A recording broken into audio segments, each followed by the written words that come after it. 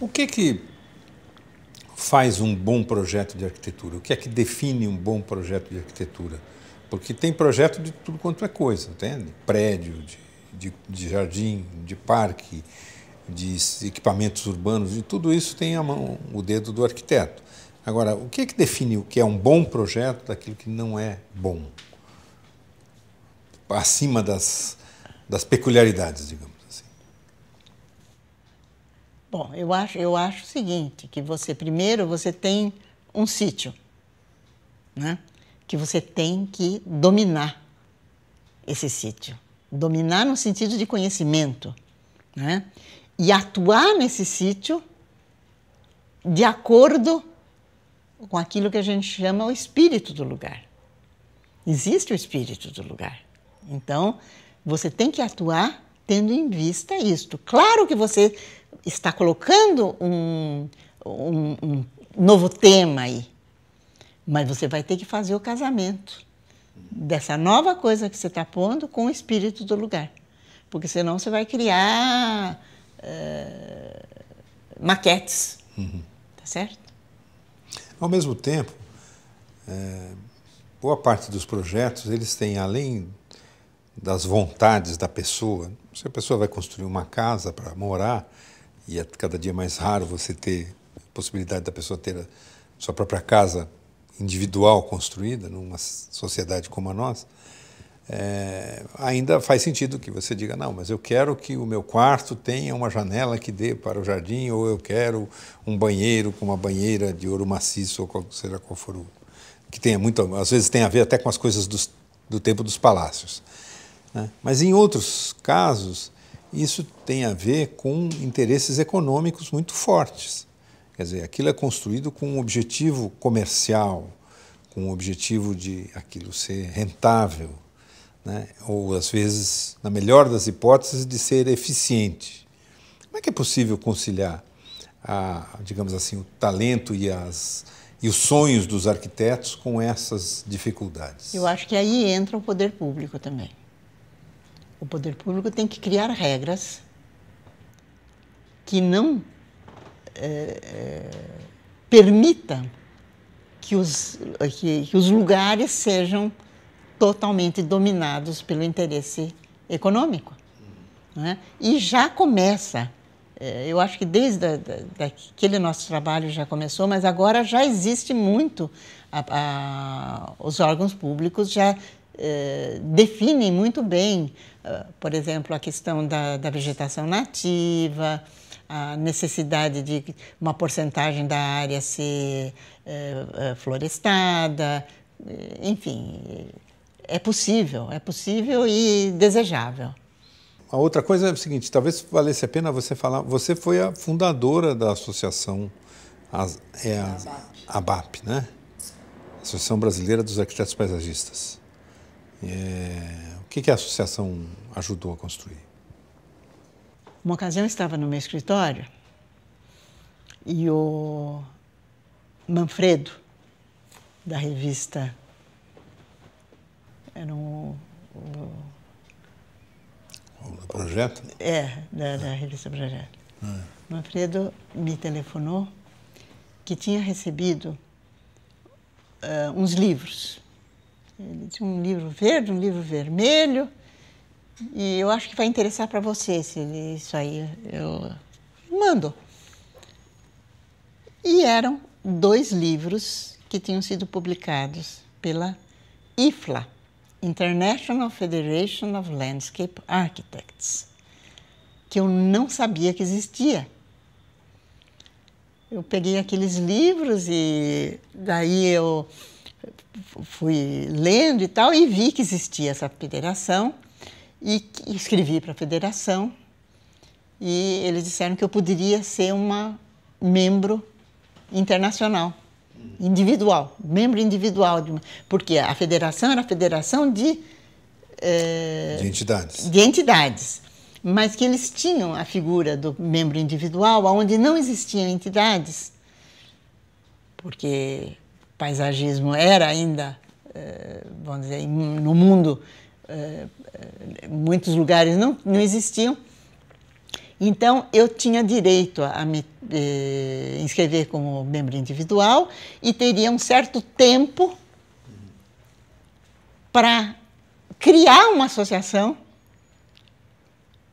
Se eu não fizesse nesse tempo, eu perdia o direito de ser membro individual. E aí, na primeira ocasião, teve um, um, um encontro da IFLA nos Estados Unidos, no Texas. E, é, e eu fui.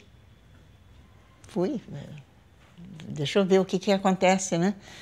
E fui, cheguei lá, então foi a primeira, primeira vez que eu encontrei as pessoas da IFLA.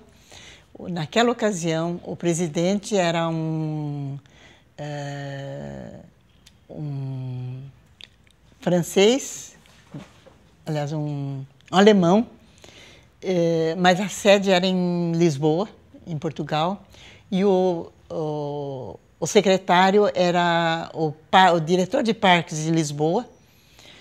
E, e aí eu conheci todos e tal, e foi muito, muito bom. Eu, de repente, tive, tive esse contato. E aí, o, esse diretor de parques de, de Lisboa chegou para mim e disse assim: como acontece que no Brasil não tem uma associação de arquitetos paisagistas? Eu disse, mas não tem arquiteto paisagista. Como, Yanimar? O Bule Marx. Eu falei, bom, tem o Bule Marx. Mas não tem arquiteto paisagista. Ah, mas você tem. Eu falei, olha, eu prometo para você que eu vou tentar formar uma associação. Mas eu te digo de antemão que vai ser muito difícil. Mas eu prometo. Eu sou boa eh, escoteira, chegando lá, cheguei aqui, catei gente, o Rio Pardense de Macedo, que era um professor que tinha escrito um livrinho de paisagismo lá no Rio Grande do Sul, uma moça que, que era do Pará, que eu sabia que tinha feito não sei o quê, e fui catando gente e tal, e marcamos uma reunião. E vieram acho que 18 pessoas. E nessa reunião foi criada a Associação Brasileira de Arquitetos Paisagistas. É assim que foi criada. Que papel é possível existir para o paisagismo e para o arquiteto paisagista nisso que as pessoas chamam de selva de pedra? Quer dizer, você olha para uma cidade como São Paulo, por exemplo, principalmente se olhar de cima, pior ainda, é, ela realmente parece algo em que o verde não tem espaço. Né? É, e quando tem é, um espaço que corre o risco de se degradar, ou de ser invadido, ou de ser ocupado, ou de desaparecer. Espaço. É, veja, a coisa historicamente é como eu te falei, quer dizer, poderia ter sido. Já houve um momento em que alguém, um urbanista, propôs, né? mas as forças é, que não são ocultas, né? as forças é, evidentes da, do, forças econômicas que dominam a, a, os governos, né? deturpam. Né? Uhum. Então, a, na verdade, o que tem que se fazer é realmente criar uma consciência, eh, tanto profissional quanto eh, governamental, e da população exigindo.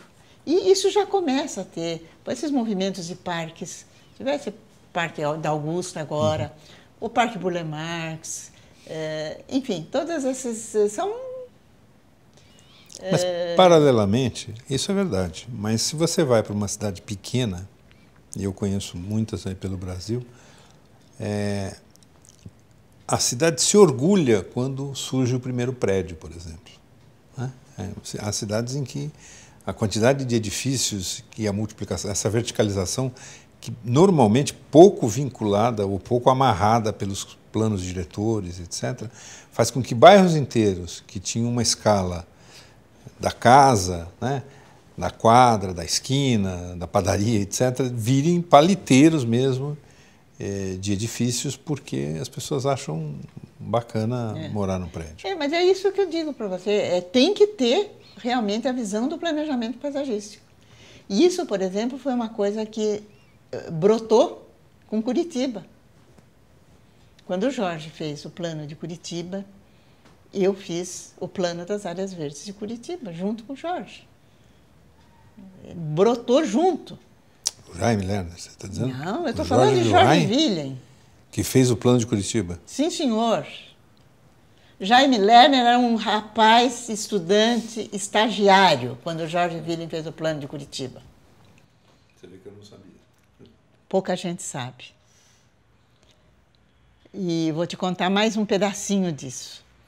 Quando nós fomos fazer o plano de Curitiba, eu me lembro eu no avião que eh, bom, o plano de Curitiba nasceu na minha na minha casa, porque nós tínhamos um amigo que era um curitibano, que era um engenheiro que tinha ido para Paris e era um engenheiro hidráulico, hidrólogo e foi para Paris, trabalhou numa empresa francesa e voltou para o Brasil encarregado de fazer uma filial da Ceret. E naquela ocasião existiam duas grandes firmas de engenharia em São Paulo de projeto, Ceret e Hidroservice. Né? E a Ceret, então, era esse nosso amigo, o Isaac Milder, e um dia ele chegou nós tínhamos escritório na Major Sertório, ele chegou lá, e para mim e para o Vladimir, que era meu marido, disse: Olha, eu estou com um problema. Me pediram em Curitiba para fazer o plano urbanístico da cidade. E eu tenho que escolher um arquiteto. E eu não sei. Vocês vão me ajudar a escolher esse arquiteto. E eu disse: Tá aí, já tem um arquiteto. É o Jorge Philip.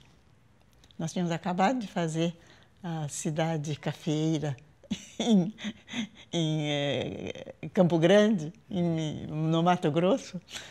Eh, foi o primeiro plano que o Jorge fez e eu era estagiária do escritório dele. Fizemos lá com, com todas as, as orientações em Anhanelo. Então, a cidade cafeeira tinha, tinha eh, vias de pedestre, vias de, de carros, tinha eh, entrada de, de pedestre, entrada de veículos, tinha eh, os parques, os playfields, os playlots, etc. E tal.